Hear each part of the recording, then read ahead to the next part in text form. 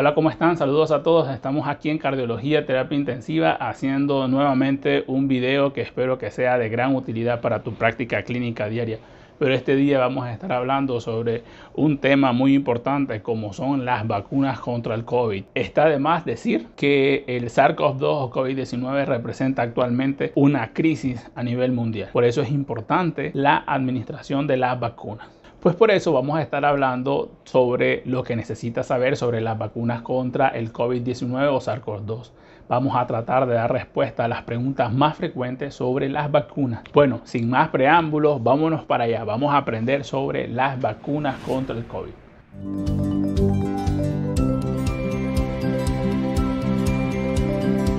La llegada de vacunas seguras y eficaces ha cambiado las reglas del juego, pero aún no está claro hasta qué punto nos protegen frente a infecciones y las transmisiones. Por el momento, incluso si ya estamos vacunados, debemos seguir tomando precauciones como el uso de mascarillas, el mantener distancia física y lavarnos las manos con frecuencia para protegernos a nosotros mismos y a los demás de infecciones por SARS-CoV-2. Está más que demostrado que las vacunas salvan millones de vidas cada año. El desarrollo de vacunas seguras y eficaces contra el SARS-CoV-2 supone un enorme paso hacia adelante en nuestro esfuerzo mundial para acabar con esta pandemia y volver a hacer las cosas que disfrutábamos hacer junto a las personas que amamos. Salir al parque, poder salir al cine, poder hacer nuestra vida de forma normal. Se ha recopilado información especializada más reciente con el fin de poder responder a algunas de las preguntas más comunes sobre la vacuna contra el COVID-19 o SARS-CoV-2. Pero por supuesto que se deberá seguir actualizando esta información conforme aprendemos y conforme aparezca más evidencia médica científica. Esta información fue recopilada principalmente de los datos obtenidos por UNICEF, que es el Fondo de las Naciones Unidas para la Infancia, y de la Organización Mundial de la Salud. Por si quieres revisarlo, está en internet y es gratuito. Entre las preguntas más comunes que las personas hacen figuran las siguientes. La primera es ¿qué debo hacer? ¿Me debo vacunar o no me debo de vacunar? Bueno,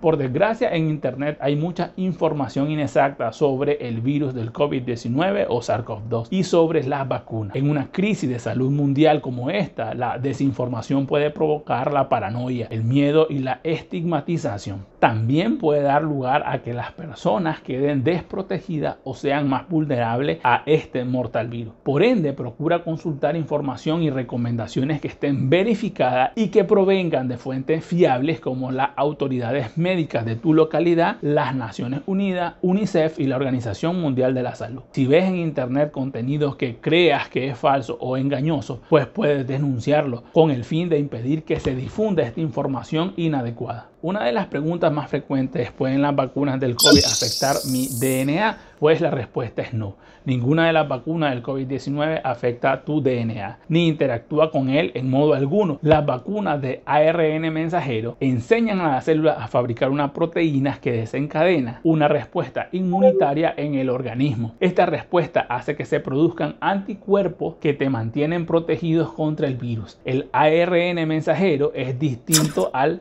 DNA y permanece dentro de la célula solo aproximadamente 72 horas, tras lo cual se degrada, pero nunca penetra en el núcleo de la célula donde se aloja el DNA. Las vacunas para el COVID-19 contienen productos animales. Hay estas preguntas, vemos respuesta. La respuesta es no.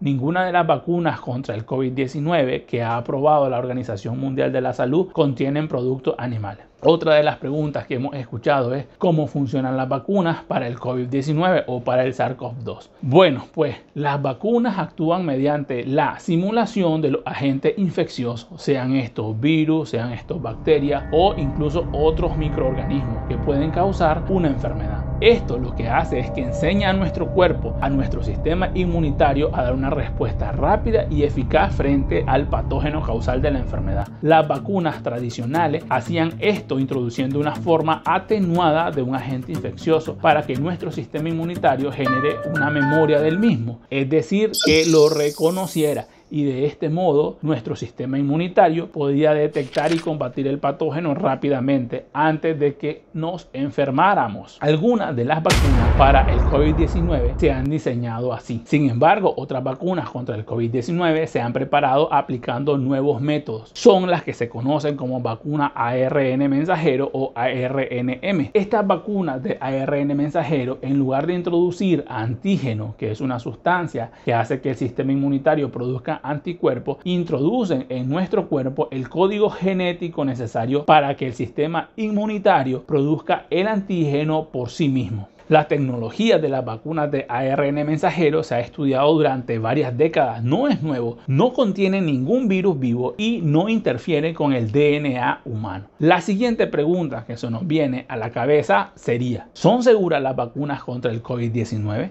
La respuesta a esta pregunta es sí.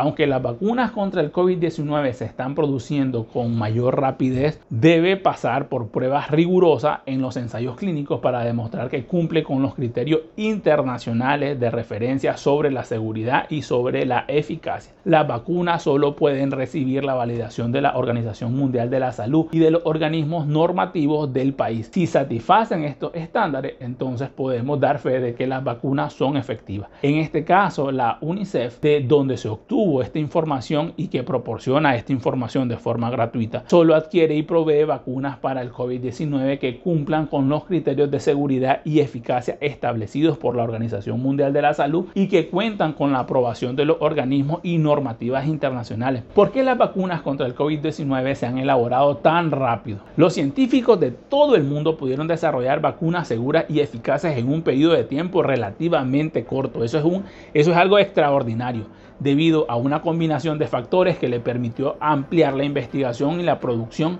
sin comprometer la seguridad de nosotros. Debido a la pandemia mundial hubo un tamaño de muestra muchísimo más grande para estudiar y se presentaron decenas de miles de voluntarios. Otro de los factores son los avances en la tecnología como las vacunas de ARN mensajero que ya se estaban desarrollando desde hacía muchos años los gobiernos y otros organismos se unieron y trabajaron conjuntamente para eliminar el obstáculo del financiamiento a la investigación y el desarrollo. Otro factor es la fabricación de las vacunas, puesto que se realizó en paralelo a los ensayos clínicos para acelerar la producción. Aunque se desarrollaron rápidamente, todas las vacunas contra el COVID-19 o el SARS-CoV-2 aprobadas por la Organización Mundial de la Salud son seguras y son eficaces. ¿Cuál de las vacunas contra el COVID es mejor para mí?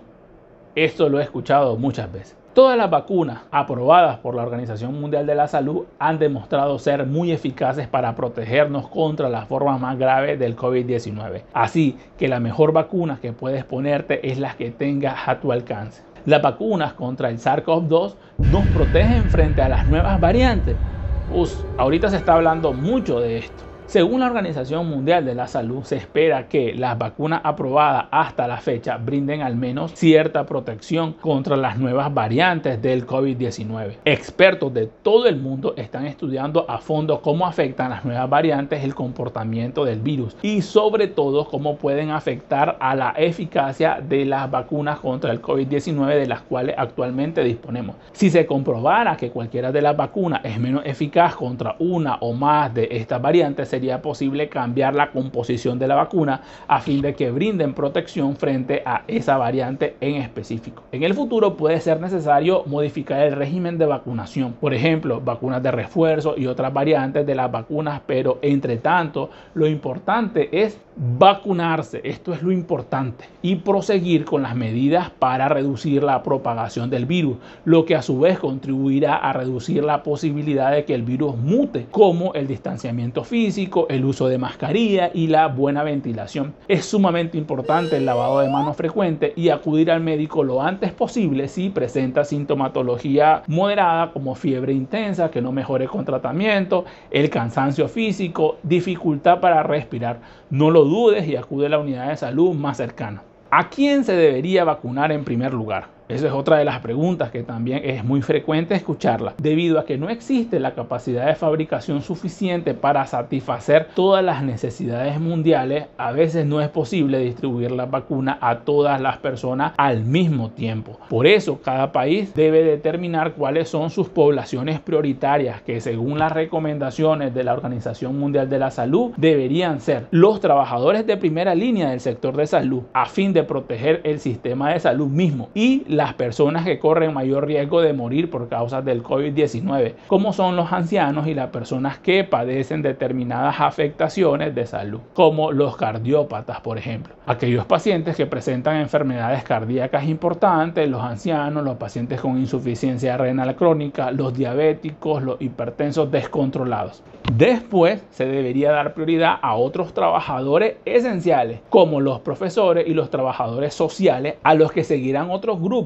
a medida que se dispongan de más dosis de las vacunas. El mayor número posible de ciudadanos deben ser vacunados. Todos debemos vacunarnos contra el COVID-19. ¿Quién no debe vacunarse contra el COVID-19? Esa es otra de las preguntas que muy frecuentemente nos hace a nosotros el personal de salud. Se recomienda que si tienes dudas acerca de si te pones o no la vacuna, debes de hablar con tu médico, tu médico de confianza, y este debe brindarte la información necesaria y aclarar tus dudas.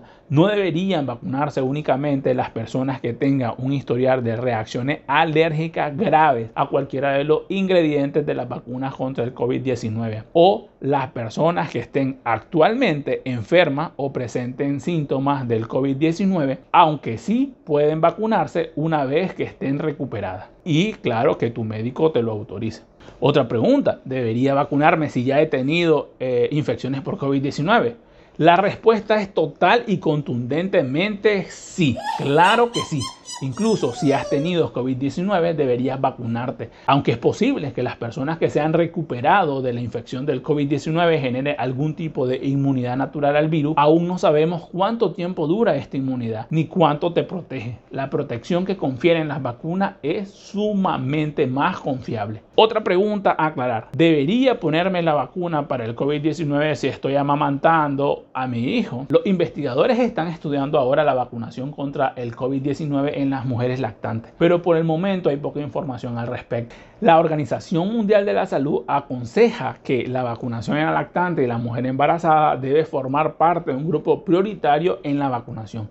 La lactancia puede continuar después de la vacunación y sigue siendo una de las mejores maneras de proteger incluso a tu hijo frente a enfermedades y de ayudar a que éste se mantenga sano. ¿Debería ponerme la vacuna contra el COVID-19 si estoy embarazada? Pues bien, aunque el riesgo de enfermar de gravedad por el SARS-CoV-2 o el COVID-19 en general sigue siendo bajo, las mujeres embarazadas tienen más riesgos que las no embarazadas de presentar manifestaciones graves y complicaciones. Aún se está investigando para entender la seguridad y los efectos de la vacunación contra el COVID-19 en las mujeres embarazadas, pero no se conoce ninguna razón que pudiera prevalecer sobre los beneficios que trae el vacunar a las mujeres gestantes. Así que valorando riesgo-beneficio es mucho mejor que se vacunen. Por este motivo, las mujeres embarazadas que corren un riesgo mayor de exposición a la infección por SARS-CoV-2, por ejemplo, aquellas mujeres gestantes que son trabajadoras del sector salud o que padecen trastornos de salud que aumentan el riesgo de contraer la forma grave de esta enfermedad, deben vacunarse previa consulta con su proveedor de atención médica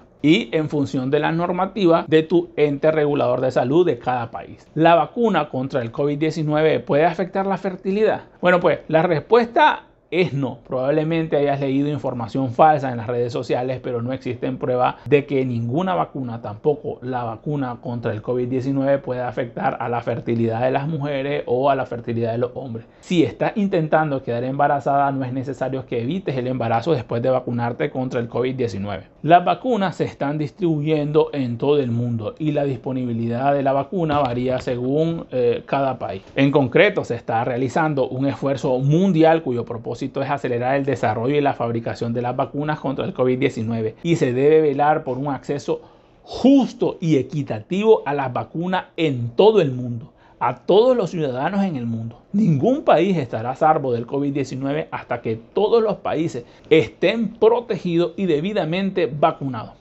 Bueno, esta es la información que traía para ti el día de hoy. Si la información te ha parecido de valor, te invito a que te suscribas al canal y déjanos tu comentario aquí abajo. Regálanos tu like, que es la única manera de que YouTube nos va a promocionar y podemos hacer más grande este canal. Chao.